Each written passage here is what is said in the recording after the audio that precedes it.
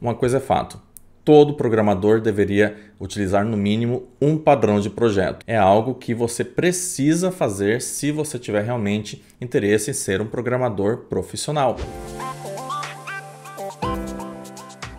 Fala Guerreiro Jedi, professor Márcio Santos aqui e o tema do vídeo de hoje é falar a respeito de padrões de projeto. O que são esses padrões, para que, que eles servem, como que eles funcionam.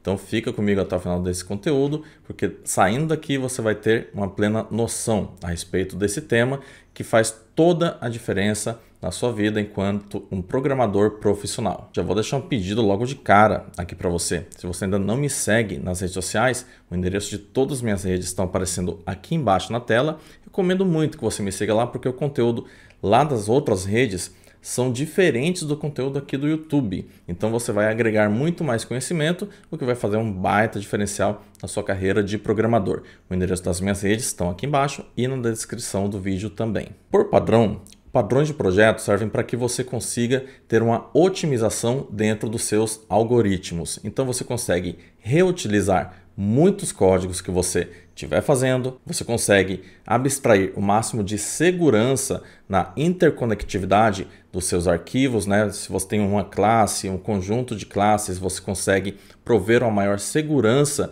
na conexão e na comunicação entre elas, e você consegue ter um maior controle do conteúdo que está dentro de cada classe. Então, trabalhar com padrão de projeto é algo que você precisa fazer se você tiver realmente interesse em ser um programador profissional. Caso você já trabalhe profissionalmente com programação e não tenha nenhum padrão de projeto, nenhum design pattern, então minha recomendação é que você adote pelo menos um para que a sua carreira consiga escalar novos patamares. E adianto, existem vários padrões de projeto, alguns que são consagrados e utilizados é, mundo afora, outros que são menos conhecidos, né? mas eu recomendo que você utilize pelo menos alguns deles, ou pelo menos um deles dentro dos seus projetos. O padrão que eu vou falar aqui contigo agora é o padrão que a gente chama de GOF, G-O-F.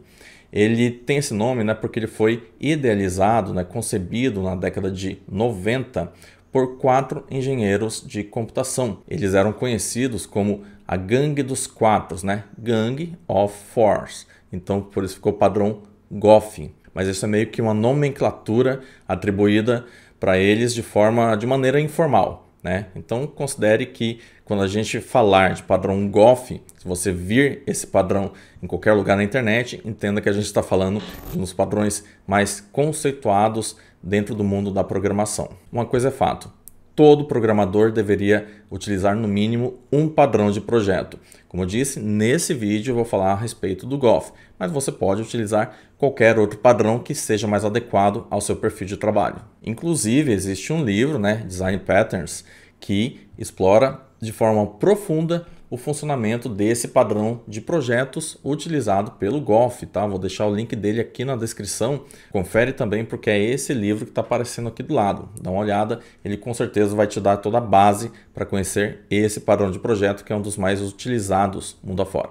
Adianto mais uma coisinha. Para você que trabalha com desenvolvimento web, alguns padrões podem ser muito mais específicos e mais adequados a esse tipo de plataforma.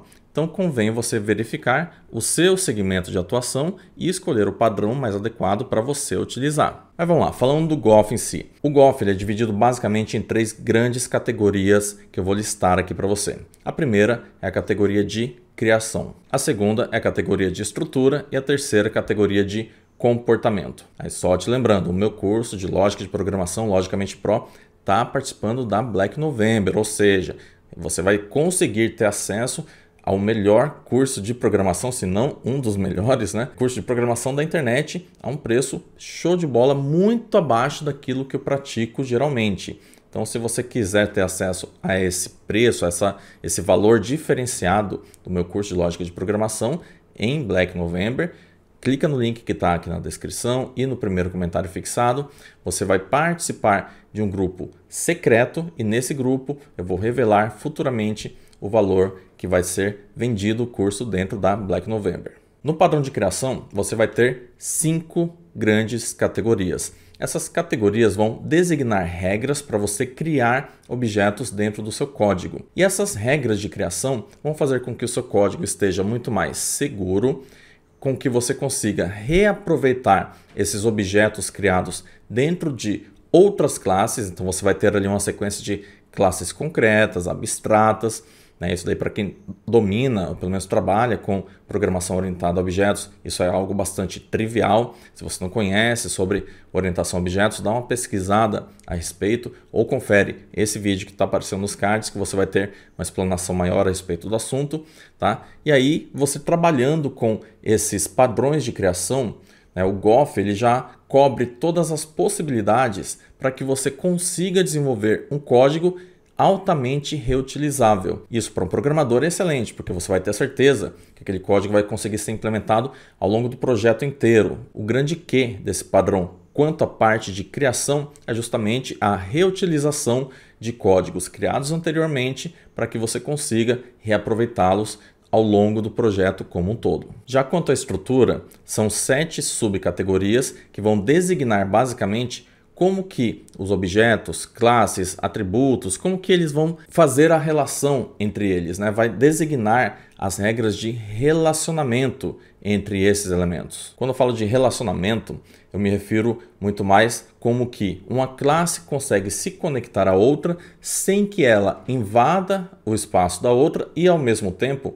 sem que ela é precise propriamente ser uma classe herdeira, né? herdando dados de uma outra classe. E isso dentro da computação é algo excelente, porque você consegue fazer aquilo que a gente sempre preza e prega dentro da computação, dentro da programação. É conseguir fazer com que todos os seus arquivos conectem-se entre si automaticamente e ao mesmo tempo fazer com que eles não tenham uma dependência direta. E só um padrão de projeto consegue dar para você esse tipo de estrutura. Entenda o seguinte, um padrão de projeto é uma diretiva de como que você vai implementar o seu código. O código é você que faz. O padrão de projeto não é um framework, não é uma biblioteca. O padrão de projeto, um design pattern, ele basicamente vai falar: faça isso dessa maneira e siga essas diretivas. Regra A, B, C, D, E. Mas só que você vai criar seu código, você vai criar suas classes, você vai fazer tudo. Você vai seguir simplesmente uma diretiva que foi estudada amplamente por esses quatro engenheiros de computação, né, do, a gangue dos quatro, para que hoje, 30 anos depois, você tivesse uma estrutura formatada, validada, pronta para ser utilizada sem que você precise criar e idealizar tudo do zero. Se esse conteúdo está fazendo sentido para você, clica no botão curtir, assim você ajuda esse vídeo a ser entregue para outras pessoas que também querem entender o que, que são padrões de projeto, né? o que, que é design patterns, para que, que serve, com o que, que se come e como que é utilizado no dia a dia de um programador. Clique em curtir. E por fim o padrão de comportamento, que é dividido em 11 subcategorias. Essas categorias vão basicamente designar como que os objetos vão se comunicar. Veja que se comunicar é diferente de se relacionar. No relacionamento, que é quanto à parte estrutural, você está verificando como que uma classe vai se relacionar com outra para compor o software como um todo. Já quanto à parte comportamental, a categoria comportamental, essas subcategorias, essas 11 né, subcategorias, vão falar como que os seus objetos os seus atributos, métodos vão trafegar informações entre si. Como que eu consigo mandar um post de um lugar até o outro? Como que eu consigo mandar o valor de uma variável de um lugar até o outro? Como que um objeto designa tal ação para um outro objeto que está numa outra classe? Como que eu faço esse tipo de comunicação? Então veja que relacionamento, estou falando muito mais de relacionamento entre classes, a conversa deles dentro do software, mas só que não a troca de informações. Quanto à parte comportamental, o que prega é essa troca de informações e dados entre os objetos, classes, enfim. A parte legal é que você consegue usar padrões de projeto em qualquer linguagem. Por quê? Porque não é uma diretiva de linguagem, não é uma diretiva de framework, de biblioteca, é uma diretiva de regras. É como você trabalhar com um protocolo, né? um protocolo HTTP, um protocolo FTP, um protocolo SSH.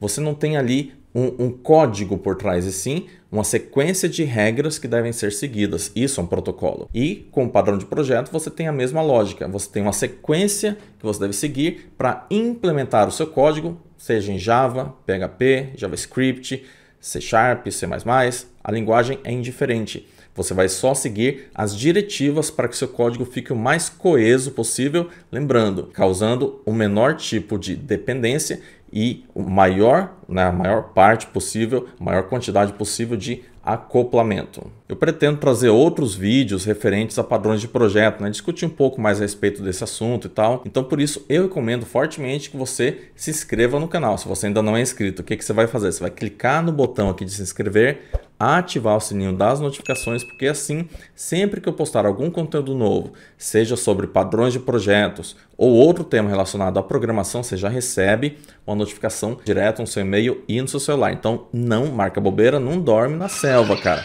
Clica para se inscrever e ativa o sininho das notificações. Sem contar que isso otimiza o seu tempo de produção. Na hora que você consegue otimizar o seu código, fazendo com que ele seja altamente reutilizável, automaticamente você vai acabar economizando tempo.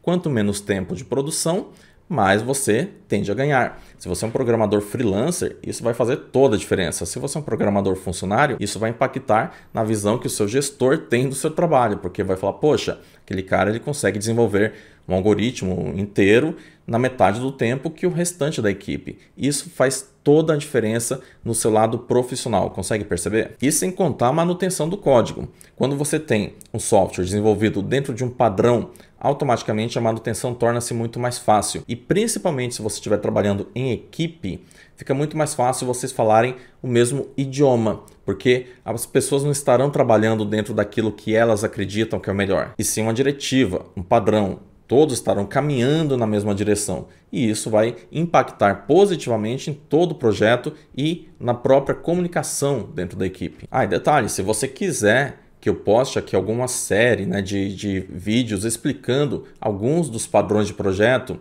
né, como o Golf, por exemplo, é só colocar aqui nos comentários, né? Ah, professor, eu acho interessante falar a respeito dos padrões de projeto e tal.